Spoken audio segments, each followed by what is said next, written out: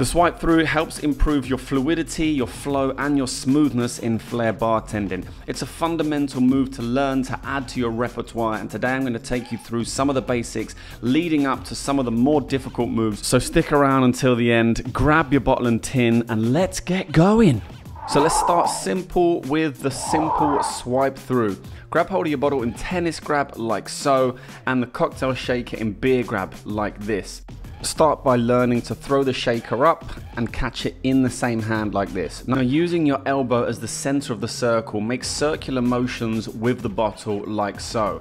And as you start swinging that around, bring that arm on top of the shaker arm, then throw the shaker up, swipe through with the bottle and catch the shaker again in that same hand. Repeat this move over and over so you can get used to how it feels, you can improve your style, improve your smoothness and get better at performing this move. Now we'll start to throw the bottle. So we're gonna learn how to throw flat without any spin. So you're gonna throw the bottle, let go of it and grab it like so. So do this a few times so you can learn this part of the move and then the shaker part is exactly the same. So you start slow and then build the shaker into the swipe through and build up until you get the rhythm and again continue doing that move over and over until you can get a click of the fingers in between the throw and the catch of the bottle like this. Now let's add a spin to the bottle. So once again, let's start the move by trying just the bottle section. Get that single spin going and then bring the shaker into the swipe. So spin, shaker. Start slowly so you can get the rhythm and understand how the move works. And then once you've got it, you can start speeding up and getting that more of a loop, more of a rhythm going with this move.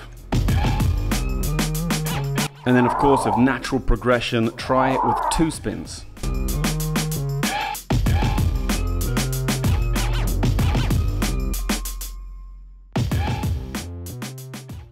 Now we're gonna throw the bottle inwards. So holding it down by our side, lift up and swing it inwards to create a backward spin and catching the same grab as before. Make the swipe through and repeat. As simple as that. And remember, you can always take away the shaker to practice the move without the swipe beforehand so you can understand how the move works, where your arm needs to go and how to make that full movement.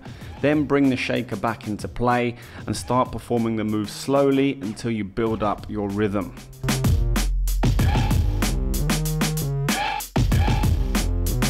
Now changing the bottle grab back to tennis grab, we're gonna create a backwards reverse grab catch. So swing up, spin and a half to reverse grab. And again, try the move first, make the swipe, and slowly build up your rhythm until you can perform the move nice and smoothly.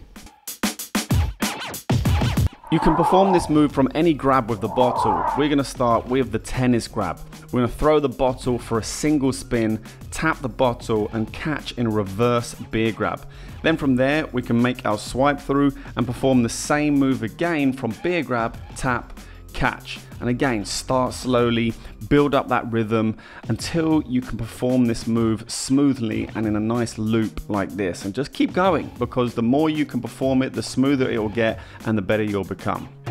So this was one of my signature moves on stage and it's basically a gunsling which is a thumb roll, finger roll but across our body. So we come thumb roll, finger roll, down and then once more we're going to practice down and then swipe through and it's just looping that around. Thumb roll, finger roll, swipe. Thumb roll, finger roll, swipe. It looks good because the bottle is traveling in the opposite direction to the arm, so it creates a nice visual effect for the move. Finally, the over the shoulder swipe. Now there's many variations to this, but we're gonna just start easy. You're gonna learn the over the shoulder, and as you chop down, just the shaker comes up over the arm. So over the shoulder, down, and then cross over your arms, the shaker comes up. And once you get this one, you're gonna be able to do this one nice and smoothly and nice and quickly. If you wanna see more variations on the over the shoulder swipe, just let me know in the comments box below. Now you should go and check out this video on landing a bottle inside the shaker. You'll be able to link all of those moves together. But that is it for today's video. Thank you so much for watching. Don't forget to hit subscribe, click the bell for notifications, smash that like button, and let me know if there's anything else you want to see me teach you on the channel. But till next time, I'll see you then.